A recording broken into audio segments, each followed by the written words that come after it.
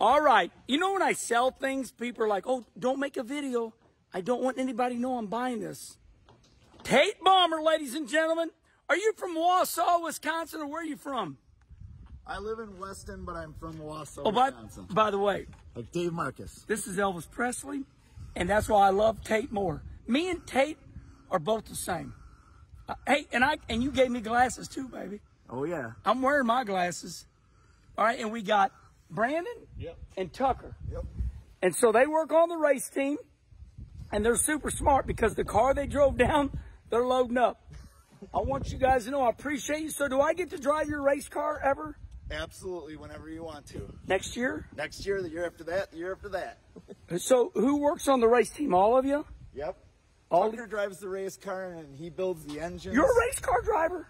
And He he does the chassis stuff. Brandon drives our bomber car and then he works. on Oh, our super I want to drive the bomber car. Anytime, yeah.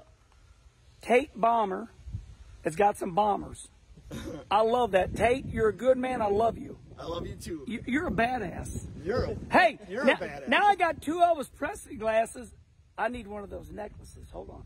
I can get you one. Lowell Hays in Memphis, Tennessee makes these for me, and he made them for Elvis Presley. You ain't. You'll never meet anybody as fun as this man. hey, all right. I love you guys. Say goodbye to, to Wisconsin. We'll be back soon. Hey, cause uh, mama, I'm coming home.